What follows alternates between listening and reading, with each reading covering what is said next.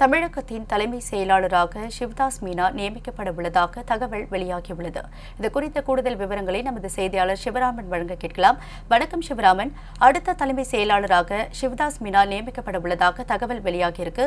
அவர் எந்த அடிப்படையில் நியமிக்கப்பட உள்ளார் விவரங்களை பதிவு செய்யுங்க அதாவது தமிழ்நாடு அரசின் தற்போதைய தலைமைச் செயலாளர் இறையன்பு அவர்களின் பதவிக்காலம் நாளையுடன் முடிவடைய இருக்கக்கூடிய சூழ்நிலையில் அடுத்த தலைமைச் செயலாளராக சிவதாஸ் மீனா அவர்கள் நியமிக்கப்படுவார் என்ற ஒரு உறுதி உறுதியான ஒரு தகவலானது தற்பொழுது வெளியாகி இருக்கிறது அவர் தமிழகத்தின் நாற்பத்தி ஒன்பதாவது தலைமை செயலாளராக பதவியேற்பார் என்ற தகவலும் வெளியாகி இருக்கிறது வரக்கூடிய சனி அல்லது திங்கட்கிழமை வாக்கில் தலைமைச் செயலகத்தில் அவருடைய பதவியேற்பு நிகழ்ச்சி இருக்கும் என எதிர்பார்க்கப்படுகிறது.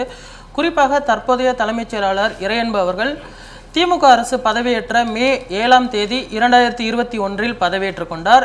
இரண்டு ஆண்டு கால பணிகளை நிறைவு செய்யக்கூடிய அவரின் பதவிக்காலம் இன்றைய தினத்தோட ஓய்வு பெற இருக்கிறது. அதாவது அவருடைய பதவியானது தற்பொழுது நீட்டிக்கப்படலாம் உள்ளிட்ட பல்வேறு யூகங்கள் வந்த நிலையில் அவருடைய பதவிக்காலம் நாளையுடன் ஓய்வு பெற இருக்கிறது. குறிப்பாக அவர் தமிழ்நாடு தகவல் ஆணையராக நியமிக்கப்படுவார் உள்ளிட்ட பல்வேறு தகவல் வெளிவந்தது. ஆனால் அவர் குறிப்பாக ஓய்வு பெற இருப்பதாகவே அவர் திட்டவட்டமாக இந்த பல பதவிகளை அவர் ஏற்பதற்கு மறுத்துவிட்டார். அதனால் தற்பொழுது அவர் நாளையுடன் ஓய்வு பெற இருக்கிறார். இந்த நிலையில் தமிழகத்தின் அடுத்த தலைமைச் செயலாளராக தற்போது சிவ்தாஸ் மீனா அவர்கள் நியமிக்கப்பட இருக்கிறார். குறிப்பாக சிவதாஸ் மீனா அவர்கள் ஒரு ஐந்து மொ- மொழிகள் புலமை பெற்றவர். குறிப்பாக தமிழ் ஆங்கிலம் ராஜஸ்தானி ஹிந்தி மற்றும் ஜப்பான் உள்ளிட்ட மொழிகள் புலமை பெற்றவர். அவர் ஜப்பான் மொழியை சர்வதேச ஒரு நிறுவனத்தின் உதவியுடன் அந்த மொழியை கற்றுத் தேர்ந்தவர். தற்பொழுது அவர் பல்வேறு துறைகளில் பணியாற்றிய ஒரு அனுபவமிக்க ஒரு த ஒரு அதிகாரி அவர்களை தற்பொழுது தமிழ்நாடு அரசின் தலைமைச் செயலாளராக நியமிக்கப்பட இருப்பது குறிப்பிடத்தக்கது. குறிப்பாக அவர் கடந்த காலங்களிலுமே பல்வேறு சவாலான பணிகளை ஏற்று பத பணியாற்றியிருக்கிறார். தற்பொழுது அவர் நகராட்சி நிர்வாகத்துறையின் கூடுதல் தலைமை செயலாளராக இருந்து வருகிறார்.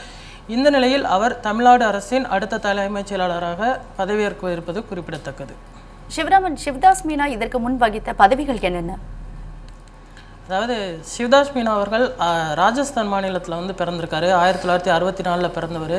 தமிழ்நாடு அரசோட ப பணிக்காலத்தில் வந்து ஆயிரத்தி தொள்ளாயிரத்தி எண்பத்தி ஒம்போதில் வந்துட்டு தமிழ்நாடு அரசு அந்த கேடராக வந்து பதவியேற்றுக்கிட்டாரு குறிப்பாக அவர் வந்து காஞ்சிபுரம் உதவி கலெக்டராக பயிற்சி பெற்று அதுக்கப்புறம் வந்து வேலூர் கூடுதல் கலெக்டர் மற்றும் புதுக்கோட்டை உள்ளிட்ட பல்வேறு மாவட்டங்களில் பணியாற்றியவர் அப்ப ஒரு அனுபவமிக்க ஒரு அதிகாரி என்றுதான் சொல்ல வேண்டும். குறிப்பாக அவர் உணவு நுகர்வோர் துறை உள்ளிட்டவரின் முதன்மை செயலாளராகவும் பணியாற்றியிருக்கிறார். தற்பொழுது நகராட்சி துறையின் கூடுதல் தலைமை செயலாளராக பணியாற்றி வரக்கூடியவர். அதே போன்று அவர் கடந்த காலங்களில் ஜெயலலிதா அமைச்சரவையிலும் பணியாற்றியவர். தற்பொழுது இந்த ஸ்டாலின் தலைமையிலான அரசு அந்த அதிகாரியின் அந்த நிர்வாகத்திறன் மற்றும் அவர் ஆற்றியிருக்கக்கூடிய பணிகளின் அடிப்படையில் தான் தற்பொழுது அவர் பணி நியமனம் செய்யப்பட இருக்கிறார். மூன்று பேர் கொண்ட பட்டியலானது இறுதி செய்யப்பட்டு மத்திய அரசிற்கு அனுப்பி வைக்கப்பட்டது. தற்பொழுது சிவதாஸ் மீனா அவர்களை அடுத்த தலைமைச் செயலாளராக நியமிப்பதற்கு தான் திமுக தலைவரும் தற்போதைய முதல்வருமான ஸ்டாலின் அவர்கள் விரும்புகிறார். இதனால் சிவதாஸ் மீனா அவர்கள் தான் முழு அடுத்த தலைவராக பதவியேற்பதற்கு ஒரு முழு வாய்ப்பு இருப்பதாகவே தெரிவிக்கப்பட்டிருக்கிறது. தற்பொழுது அவர் பதவியேற்றவுடன் ஒரு சவாலான பணிகள் இருக்குதான் என்று சொல்ல வேண்டும். ஏனென்று சொன்னால் பல்வேறு கட்ட பிரச்சனைகள் குறித்து அவருடன் முதல்வர் அவர்கள் கலந்து ஆலோசிக்க இருக்கிறார்.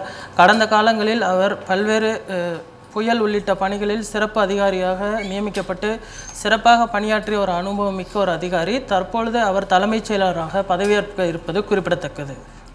விவரங்களுக்கு நன்றி சிவராமன்.